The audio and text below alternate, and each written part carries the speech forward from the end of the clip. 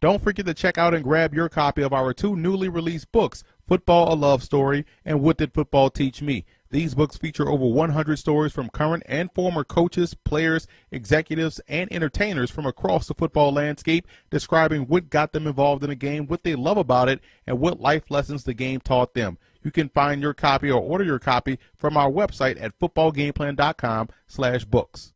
What we do here is go back, back, back, back, back, back, back, back. Welcome to FootballGamePlan.com, where football makes sense. I'm Emory Hunt, the czar of the playbook. Bring you our 2016 NFL Draft Grades video for the Houston Texans. We're going to take a look at all of their draft selections, as well as some undrafted free agents that you want to keep an eye on.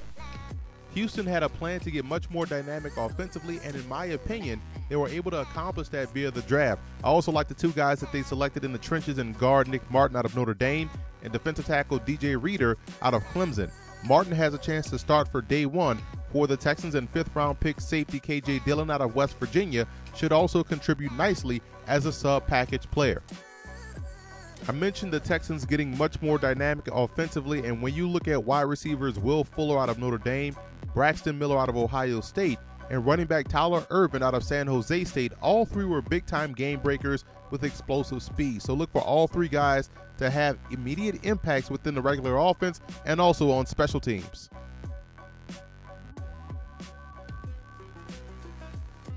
Fullback Soma Vainuku out of USC, in my opinion, was the best all around back on their roster this past season. He's a fullback that can handle single back carries and is also a very good receiver. I know they drafted Jay Prosch two years ago, but look for Vainuku to make noise in training camp.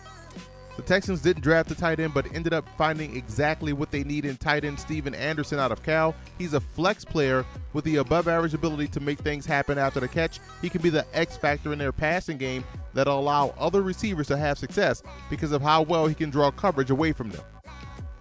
Arturo Uzdavinis out of Tulane is an offensive tackle with some upside. He's an excellent athlete that's only in his fifth or sixth year of playing football, and the Texans' offensive coaches are getting a nice mold of play in Uzdavinis.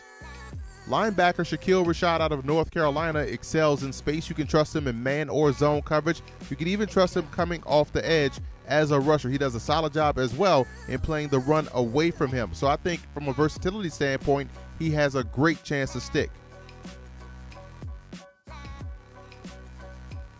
I gave the Texans an A for their draft. They signed their quarterback via free agency and spent four selections putting talent around him. Signing tight end Stephen Anderson out of Cal as an undrafted free agent was a big time score. They also added good defensive depth with Dillon and Reader. So, all in all, this was an excellent job by Houston.